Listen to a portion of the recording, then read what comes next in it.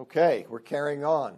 Uh, 1 John, chapter 1, verse 5. This, you know, you see these quick backups, they get shorter and shorter. But I always want to keep you knowing at least how I'm understanding things. That way you can evaluate whether you think I'm tracking correctly what John is actually saying. But in chapter 1, verse 5, John says that the message the apostles the apostles heard from Jesus and what they through John proclaimed to his readers is that God is light and in him there's no darkness at all. And because God is light and in him there's no darkness at all, John says in verses 6 and 7 of chapter 1, he says that walking in the light, living in submission to the will of God, living a life that's characterized by obedience, that that's essential for fellowship with God. Referring to the false teachers, he says that those who claim to have fellowship with God while walking in darkness, while living as rebels, while living lives characterized by disobedience, they're lying. They have no fellowship with God. On the other hand, those who have a true faith, a faith that includes surrender and is not simply intellectual assent, they have fellowship with one another in an ongoing cleansing of their sins through Christ's sacrifice. He says in verses 8 through 10 of chapter 1 that if we deny we're guilty of sin, as the false teachers were doing, we're deceiving ourselves, and the truth, God's word, is not in us. But if we confess our sins, if we cast them before God in repentance, He forgives and He cleanses us. Then in chapter 2, the first part of verse 1, he says he's writing these things so that they may not sin. He doesn't want them to twist the message of God's amazing grace into being casual about sin. And that was always a danger that you had. I mentioned that Paul had addressed that. You see, that when you speak the truth about the depth and, and majesty of God's mercy, some can take it and say, okay, then I can be casual about sin, and sin's not really a big deal. And so he doesn't want them to fall into that. And then in the second part of verse 1 of chapter 2, he assures them that when they do sin, which they will, if they will confess that sin, as he said in chapter 1, verse 9, rather than denying it, rather than insisting on continuing to live in it, they can rest assured that they are forgiven and they can do so. They can rest assured that they're forgiven because their advocate with the Father is Jesus Christ the righteous. And he represents the Christian in the blood of his sacrifice, and no one he represents is condemned. Now that's where we ended, ended last week. I want to say just a word about, uh, about verse 2, where he says here, he says in verse 2 And he's the atoning sacrifice for our sins, and not for ours only, but also for the sins of the whole world. See, his death not only atoned for the sins of Christians, but potentially for the sins of all people. You see that same idea in the Gospel of John, chapter 1, verse 29, and in 1 John, chapter 4, verse 14, about the, the potential uh, uh, cleansing uh, of his death for all people. It exists there. He died for all people. The efficacy of his death will never be exhausted. And this is where some Calvinists, see those who are traditional tulip people, where they say, no, he doesn't die for all people, he only dies for the elect. That's one of the places where I would disagree with them. And so here you see that this, this idea, he atoned for the sins, not just for Christians, but potentially for the sins of all people, as Colin Kruse puts it. He says, We might suggest that Jesus Christ is the atoning sacrifice for the sins of the whole world because his death was sufficient to deal with the sins of the whole world, but that his sacrifice does not become effective until people believe in him. You see, so I think in potential there it is. Its efficacy will never be exhausted, but to receive that, one must convert. One must become a Christian and place one's faith in him chapter 2, verses 3 through 6, he's going to repeat the ethical point he's been stressing, but he's going to do this now as a condition of assurance. So let's look, chapter 2, verse 3, 3 through 6.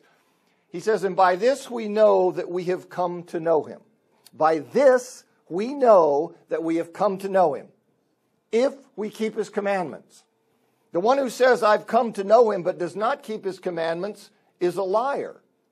And in this one, the truth is not. But whoever keeps his word, truly in this one, the love of God has reached perfection. By this we may know we are in him. The one who claims to abide in him ought himself to walk just as that one walked.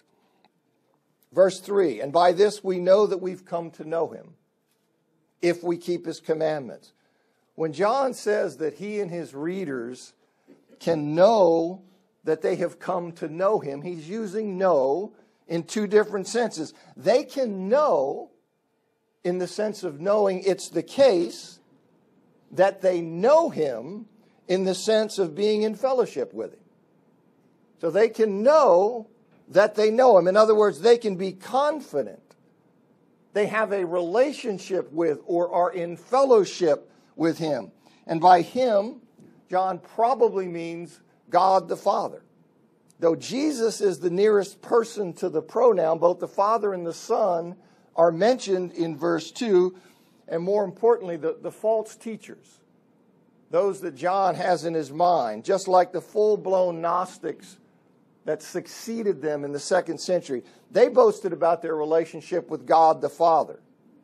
You can see in chapter 1, verses 5 and 6, that their claim was to have fellowship with God. And in chapter 2, verses 22 and 23, it's clear that they claimed that relationship, that fellowship with God, in distinction from a relationship with Jesus. So I think here when he says, when he's talking about here, that this idea that by this by this we know that we've come to know him. He's speaking of a relationship with God. And the way that we, and he's focusing on them, he says the way, the way that we can be confident we have a relationship with God is what? And by this we may know we, we have come to know him. Well, by what? He says, if we keep his commandments. That's how we may know that we have come to know him. John's trying to reassure the faithful. He's trying to reassure the faithful who've been made insecure about their relationship with God by the false teachers. You see, they have made, they have upset the faithful. They have got the faithful thinking, well, am I right? They're over here telling me these things, that this is really the way to go. This is how you have to be. So they've generated this insecurity, and John is trying to reassure them that, that they are have a, they do have a relationship with God. And he's also trying to expose the false teachers as people who are deceived about their relationship with God. So he says the way we can be confident we have a relationship with God is if we keep his commandments. Now, keeping God's commandments is, of course, not the way to gain a relationship with the Father nor is it the way that you sustain it. Our relationship with God is never based on our performance and our achievement. See, rather, it's characteristic of those who have a relationship with God. That's an important distinction. See, it's never something that is gaining and earning so that you put your works before God and say, This is the basis of my relationship with you, whether it's, it's getting into Christ or staying in. It's never based on your performance, but it's characteristic of those who have a relationship with God. In other words, a relationship with God necessarily has moral consequences. A relationship with God affects the way that we live. John is well aware that nobody keeps the commandments flawlessly. He just went on and made that clear in verses 8 through 10. He's perfectly aware that no one keeps the commandments flawlessly. But failing to keep the, to keep the commandments flawlessly, that's a far cry from failing to take them seriously, as the false teachers apparently were doing. You see, failing to live up to them flawlessly is different from failing to take them seriously. As John Stott says in his commentary, he says, if it is objected that in this case no one knows God. Because no one is perfectly obedient, we may reply with Calvin. He does not mean that those who wholly satisfy the law keep his commandments, and no such insurance can be found in the world. But those who strive according to the capacity of human infirmity to form their life in obedience to God. That's what he's talking about. That's what he's after. Here's what I. Howard Marshall says. The question is whether I am trying and to some ex- extent succeeding to keep God's commandments. This is the concept of where I am surrendered. I've given my life to God. It's not simply words and junk. That when I profess faith in the Lord Jesus Christ, when I say that Jesus is Lord, I mean it.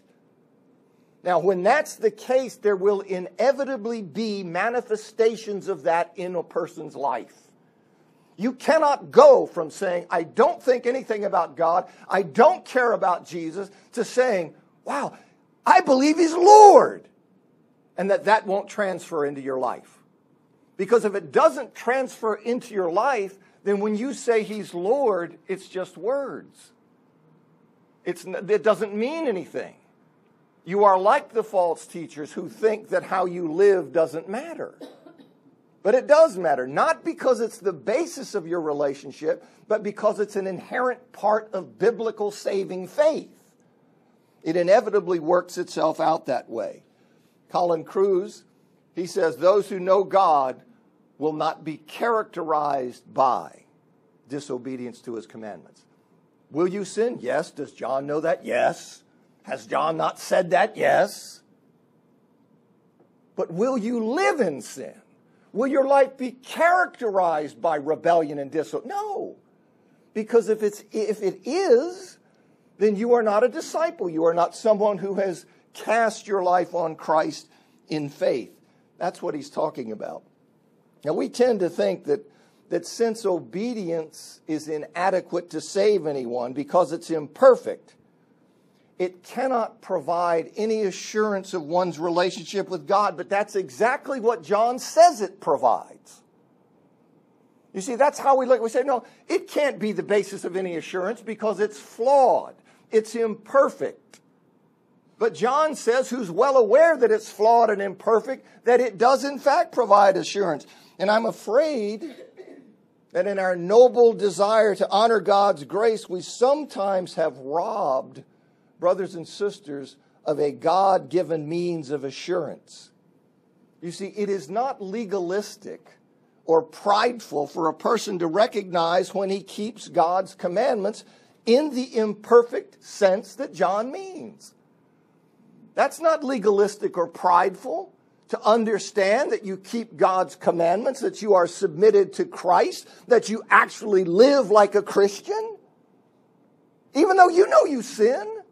But that's not legalistic or prideful to recognize that. Indeed, in chapter 2, verse 8, John tells his readers that the new command to love one another in a Christian sense was a reality in their lives as it was in Christ's. He can say to them, that was that is a reality in your life. He doesn't have to back up. Of course, I know that you don't do it perfectly. Oh, he doesn't have to do that. You see, he tells them that. One can know whether one's faith in Christ has made a difference in how one lives. Can't you know that?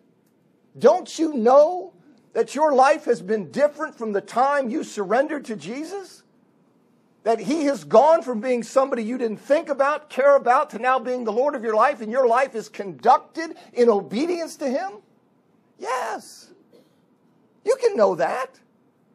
Well, yes, but I mess up. I know you mess up.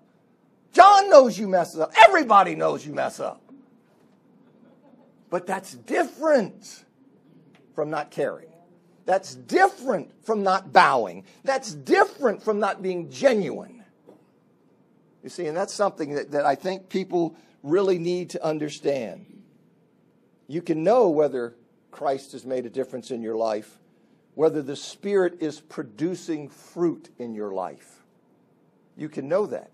And there's no shame in acknowledging that. There's no arrogance or pride in saying that God has transformed your life. You see, I think that's, that's something that uh, we need to hear. Of course, John's writing to those who've made an orthodox profession of faith, those who believe in the true incarnation of Christ and all of the other things that are part of that original gospel. He's not suggesting that obedience divorced from such an orthodox confession provides any assurance of a relationship with God. He's writing in a specific context. He doesn't have to stop every time and footnotes as though he's writing a systematic theology and say, by the way, let me go into all this. He's not doing that. He's writing a real letter to real people. And there's an ongoing relationship there. In verse 4, the one who says, I've come to know him, but does not keep his commandments is a liar, and in this one the truth is not. John's here is saying, saying essentially the same thing he said in chapter 1, verse 6. As John Stott explains, he says, The positive principle of the previous verse, chapter 2, verse 3, is illustrated by a negative example. A person's words must be tested by his works. If he disobeys God's commandments, his claim to have come to know God is a lie. That's what he said in chapter 1, verse 6. However, that strikes you. That's what John says. Okay, in chapter 1, he says his conduct contradicts his profession and proves it to be false. This is what Jesus said in Luke 6 46, where he says, Why do you call me Lord, Lord, and do not do what I tell you? He's saying there, listen, I don't care that your vocal cords are able to make the sounds that come out, Jesus is Lord. That's not the test. The test is, is that when the Spirit within you is making those sounds, it is a true confession, that there's substance behind it. If you just call me Lord, Lord, and you don't live the way I am, then you don't mean it. If you mean it, you will live the way I call you to live. And so that's what's being said here. Now, the thoughts the thoughts and, and the judgments of the person who claims a relationship with God without obedience, those thoughts and judgments are not controlled by the truth, which is what he says. Verse 5 Whoever keeps his word truly in this one, the love of God has reached perfection. Now, with many commentators, I take of God, that little clause there, I take of God to be what's called an objective genitive as in chapter 2, verse 15, and chapter 5, verse 3, rather than a subjective genitive. You see, that thing of God, it's ambiguous, right?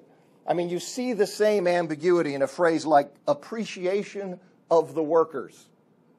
Well, does that mean you're appreciating the workers? Or is it the appreciation that the workers have? Are the workers the subject, the ones who have the appreciation? Or are the workers the object, the one receiving the appreciation? And so in this case, see, I think it's objective that he's talking about love for God instead of God's love for us. And like I said, many commentators share that. In the NIV, 1984, it translated and opted for a subjective genitive, just had it as God's love. But it footnoted the possibility uh, of the objective genitive. Interestingly, the TNIV, I think 2007, 2008, and NIV 2011, that's reversed. They put then in the text objective genitive, love for God, and footnote the subjective genitive, God's love. The Revised Standard Version uh, opts for our love for God, the objective in, in, in the text. Now, the person who keeps God's word is the one who has a mature or complete love for God. You see, when he says here that his love has reached, uh, whoever keeps his word, truly in this one, the love for God has reached perfection. You always have this question, this word perfection, how do we understand it? I think many times we're too quick to say that it means something like uh, completion or maturity. But here I think that's correct, as the NIV says, love for God is truly made complete in them. You see, a, a person here who keeps God's word, and this one has a truly mature or complete love for God, unlike the false teachers who do not obey God. The person who obeys his commandments has a mature or a complete love for God. Otherwise, their love is a deformed thing. It is not mature or complete. It's something incomplete. It is something that is short of true biblical love. Biblical love for God carries with it this sense of a surrender and an obedience. That's why Jesus could say in the Gospel of John, chapter 14, verse 15, If you love me, you will keep my commandments. We shake our head and go, What was that about? How, my love is just kind of this, this sense of feeling I have. No, these things are inextricably bound. You see, they're bound together. He says in 1 John 5 3, For this is love for God that we keep his commandments. You see, so the, the person who keeps his word, that person has a mature love for God, a love that is not twisted and aborted and deformed. That person has a proper, mature love for God. I think that's what, that's what he's after here. The love of which God speaks, it's more than a sentiment. It's more than just a feeling. It's more than just emotions. It is, as I said, inextricably bound up with our conduct. You cannot speak of loving God apart from your relationship with Him and treating Him properly that way. That is part of loving God. He says, By this we may know we are in Him. Verse 6 The one who claims to abide in Him ought himself to walk just as that one walked. The way we can know we are in him, meaning the way we can be assured that we have an intimate communion with God, is by the axiom that the one who claims such a relationship must walk as Jesus did. That one being a reference to Jesus elsewhere in the letter in chapter 3, verse 3, 5, 7, 16, chapter 4, verse 17. So when he says, He who claims to abide in him ought himself to walk just as that one walked, ought himself to walk as Jesus walked. So if we live as Jesus lived, do you mean perfectly like the sinless Son of God? No. I don't mean that. John doesn't mean that. How do you think John can mean that? John has already talked about it and said, if you claim to be sinless, you're a liar. Okay, so we're not talking about that. But isn't there a direction and a submission of Jesus' life? Doesn't he live his life though he does perfectly, though you don't do perfectly? Can't you see that as I live as a Christian, that I walk in the same path as the Lord Jesus Christ? Isn't that what it means to be a Christian? To be a disciple? To be somebody who walks in the path of the Master? Yes. And so that's what he's talking about. By this we may know we're in him. The one who claims to abide in him walk, uh, ought himself to walk just as that one walked. If we live as Jesus lived, we can know that we have a relationship with God. And if we don't live that way, then our claim to have a relationship with God is a lie. It's a lie.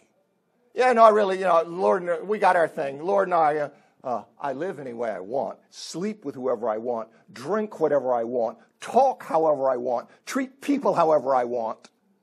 But no, Lord and I are like that. Why? Because I love Him. Well, then you don't understand. And it's frustrating. This is the kind of God and Christ and relationship that is just spewed out in our culture. It's almost it's mystical. You see, I no, it, it has nothing to do with you see very you see very much the Gnostic stuff has nothing to do with how I live. Oh, you're so, I don't know, you're so down here. You see, I'm kind of up here. You know, and I know I know what matters. We're like that. Well, I'm all for like that. But part of like that is living and walking and conducting and being. You see. That's what John is saying, as plain as the nose on my face. Okay, so he's pretty clear about it. Here's how Colin Kruse states the thrust of verses 3 through 6. Those who keep God's commands may have assurance that they are people who know God. Those who claim to know God while not obeying his commands are liars.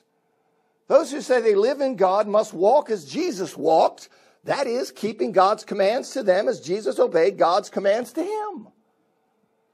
This is what John is saying. We need no apology for it. To sit here and say, well, you know, I, I'm, I'm afraid that, you know, I know that makes me sound. This is what John is saying. And we need to tell people this because when we don't tell them this, like I said, I think what we're doing is robbing them of a God given means of assurance that they can put their hearts at rest. chapter 2, 7 to 11. He says, Beloved, I'm not writing a new commandment to you, but an old commandment that you have had from the beginning. The old commandment is the word that you have heard. Yet I am writing a new commandment, which is true in him and in you, because the darkness is passing away and the true light already is shining. The one who claims to be in the light while hating his brother is still in the darkness. The one who loves his brother abides in the light, and in it there is no cause for stumbling. But the one who hates his brother is in the darkness, walks in the darkness, and does not know where he is going because the darkness has blinded his eyes. In verse 7, verse 7, I'm writing a new commandment to you, but an old, I'm not, I'm not writing a new commandment to you, but an old commandment that you've had from the beginning. The old commandment is the word that you've heard. John has been writing about the Christian obligation to keep God's commandments, and now he narrows that focus to a particular commandment, the particular commandment to love one another. He's been talking about how important this is that we obey, we submit, we walk in this path. And now he narrows down his focus to this particular commandment to love one another.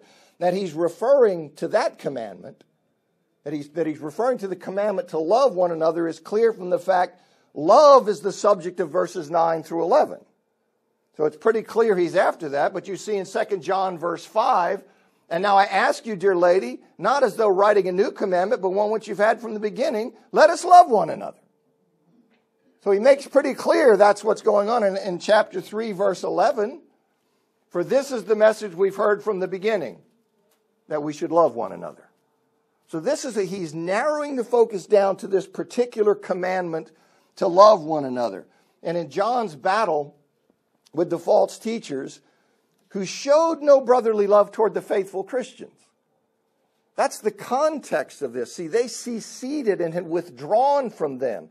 All they saw in the faithful Christians, those who are abiding and holding to the true gospel, all they saw in them was a, a field for pulling people into their heresy. They didn't have any brotherly love toward those people. They didn't care about them. They showed no brotherly concern for the faithful to whom John is writing. And so he's again appealing to the origin of the command that he's binding. Remember how he, he started off saying that, that I'm the original stuff, what we heard, this was original, this is what you had from the beginning, what we had from the beginning? Well, he's again doing that in that battle with the false teachers. He's appealing to the origin of the command he's binding. The command to love one another is not something he recently dreamed up.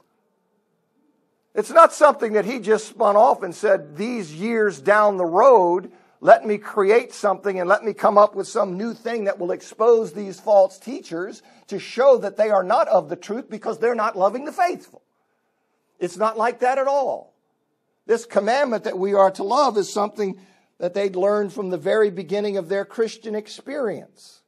This is something foundational. This is an ethical requirement that was been there. It accompanied the gospel. When you heard the gospel and you received it back from the very beginning, part of that was this ethical requirement that we love one another. It was part of that instruction that you received. So it's nothing new I'm dreaming up. You had it from the very beginning of your involvement with Jesus Christ. But in verse 8, he says, Yet I'm writing a new commandment which is true in him and in you because the darkness is passing away and the true light already shining. See, while the command to love one another was old, in what sense? It was old in the sense it was part of the original message they had received. It was part of that original ethical requirement that accompanied the spread of the gospel to them. It was in some sense new with Jesus Christ.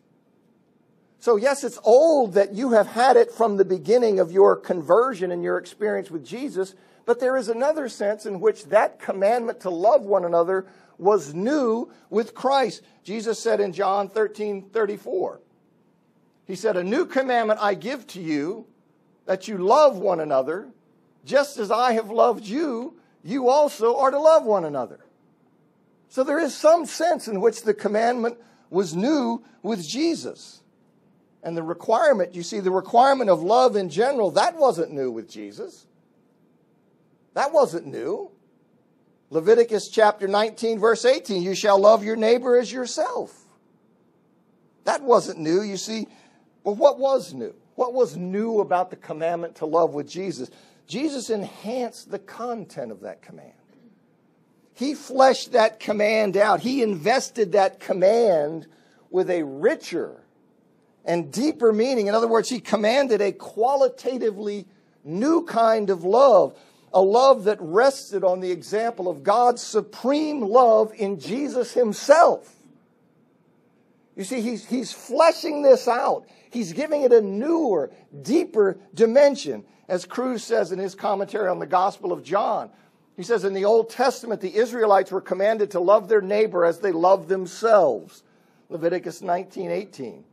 But Jesus says to his disciples, As I have loved you, so you must love one another. This raised the ante considerably. The measure of love for their neighbor was no longer their love for themselves, but Jesus' love for them. Now that's pretty powerful. You see, of course, Jesus' love was one of selfless sacrifice, even to the point of death. Now that's serious. He calls him to love, and he's giving it this qualitatively new dimension. He's deepening it, he's enriching it. So, yeah, yeah, we know what it means to love. He says, Do you? I'm going to show you the kind of love I'm talking about.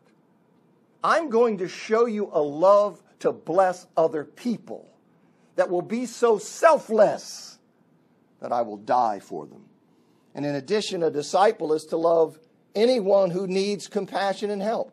You remember that whole discussion about, well, who is my neighbor? You know, you love my neighbor. Yeah, but who is my neighbor?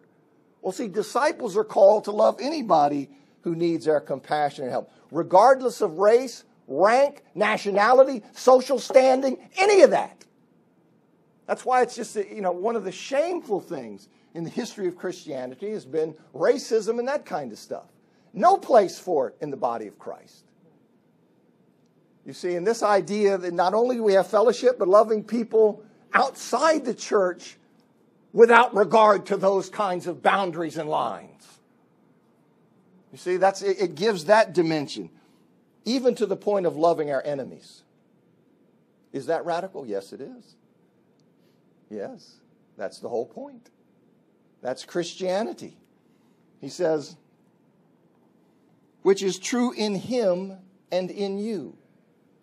You see, I'm writing a new commandment, this new dimension, this commandment of Christian love, kingdom love, new love. And he says, which is true in him and in you.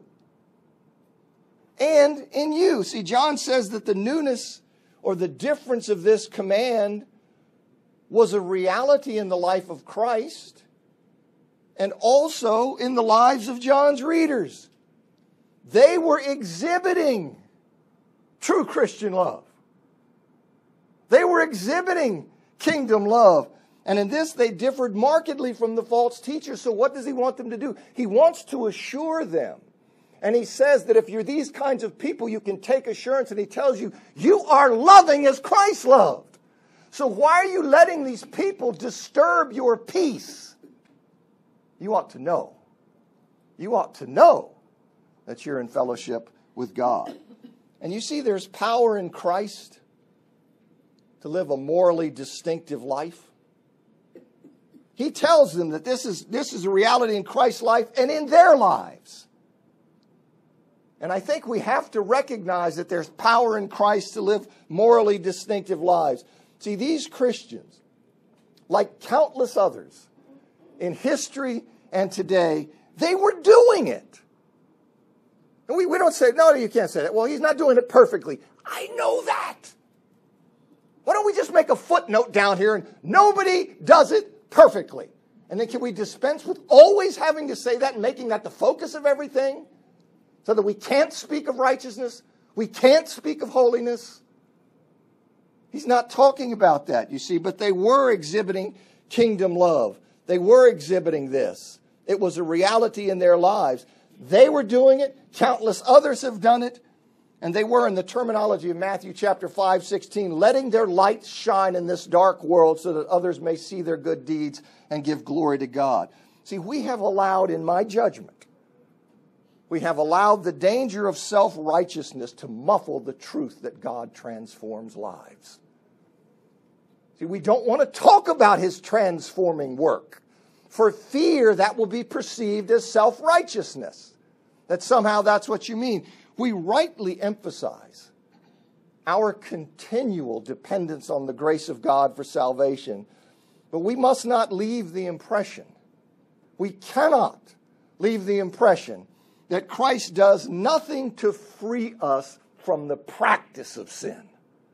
That Christ does nothing that, that the only difference between us and the world is that our sins are forgiven and theirs aren't. It's like the bumper sticker you see. Christians aren't perfect, just forgiven. Okay, I understand what they're driving at, but if by just forgiven, they mean to suggest there is no difference between the Christian and the uh, non Christian, except that the Christian has been forgiven and the non Christian is not. That's just not true. That's just not true. Paul says in Romans chapter 6, verse 17 to 19, But thanks be to God that though you were slaves of sin, that's who you were. Though you were slaves of sin, you obeyed from the heart the pattern of teaching to which you were delivered, and having been freed from sin, were enslaved to righteousness. You were slaves of sin. You had the gospel and you received it, and now what? You're enslaved to righteousness.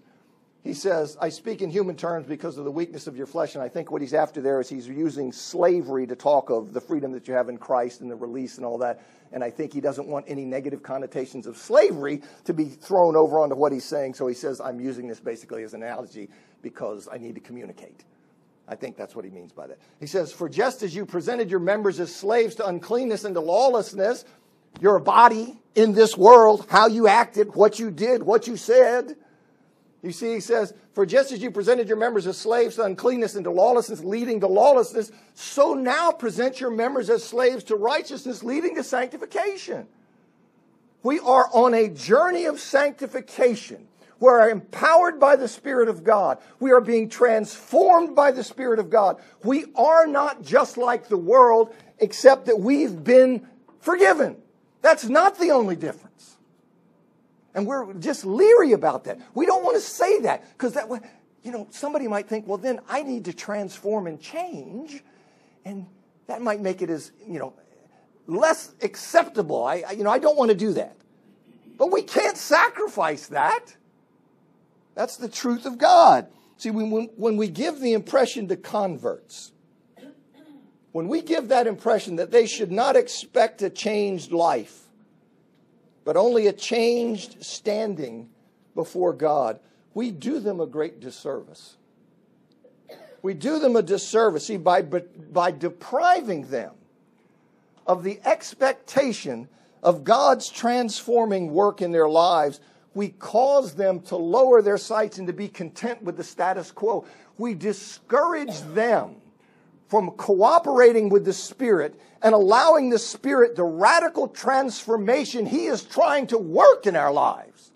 So when you lower their sights and say, don't expect anything, the only difference, you're just forgiven. You're just like you were before. God didn't rescue you from that.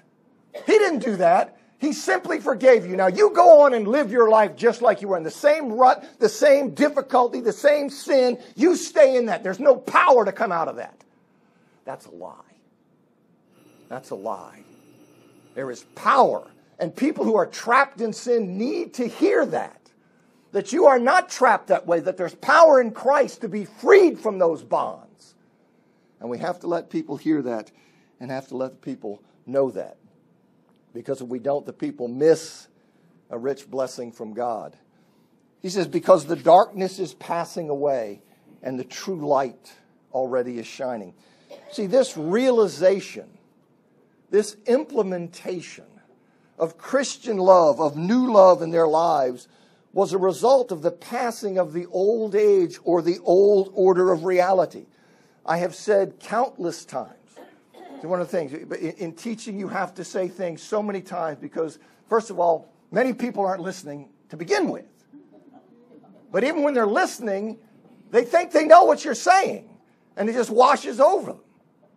But I've said countless times that Jesus coming, it inaugurated the new age, the kingdom of heaven, but its consummation awaits the second coming.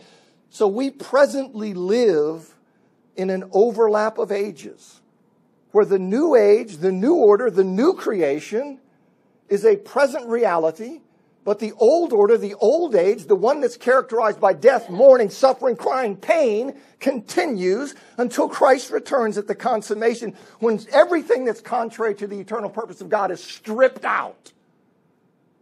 And then the kingdom of God is the sole reality. See, so this inauguration, it is as though the not yet has been pulled into the now.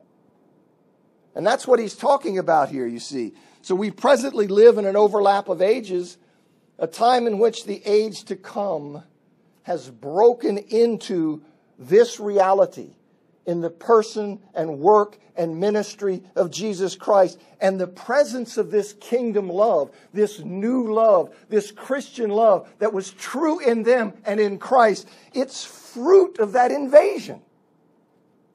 It's fruit of that invasion, you see.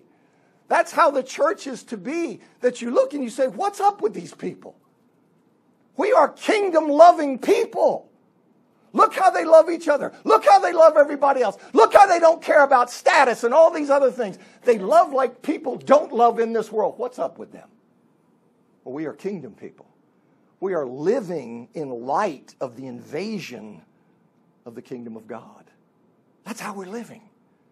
And it's reflected in how we love and treat one another. And that's what he's talking about, I'm convinced, when he says the darkness is passing away and the true light's already shining. It's already broken in in the coming of Jesus Christ. He says in verse 9, one who claims to be in the light while hating his brother is still in darkness. See, the false teachers, they apparently didn't believe that their unbrotherly treatment of the Orthodox, John's community, faithful Christians, those from whom they had walked away. They apparently didn't believe that their unbrotherly treatment of them, that it was a sin. You see, as far as they were concerned, it didn't constitute walking in darkness. And he had talked about that before. Well, John specifically rejects that view. He says, those who hate fellow believers meaning those who don't love them. That's it. It's, it's binary. you got just two options. You hate them or you love them. There's no middle ground. Those who hate fellow believers, meaning they, those who don't love them, they're, they're walking in darkness. And according to chapter 1, verse 6, they are lying about having fellowship with God. What's he pointing to? Well, these false teachers who are treating you this way, listen to what I'm telling you, John says to them. They're hating you, and that's proof positive that they are, in fact, walking in darkness, and therefore they don't really have a relationship with God. I heard that bell. Thanks.